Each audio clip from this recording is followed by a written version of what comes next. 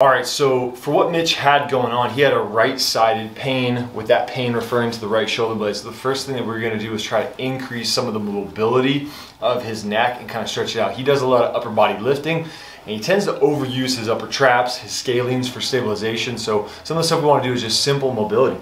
So what he's gonna do is he's gonna grab on with his hand down to the edge of the table. So he's just wrapping his hand right around the edge of the table. And then he's gonna take his hand, opposite hand over the top of the head, and you're just gonna lightly stretch on. So you can kind of hold on to your pant leg if you want to. If you're sitting in a chair, you can kind of sit on the top of your hand, or uh, sorry, uh, just sit on your hand, um, and that will kind of hold that shoulder down.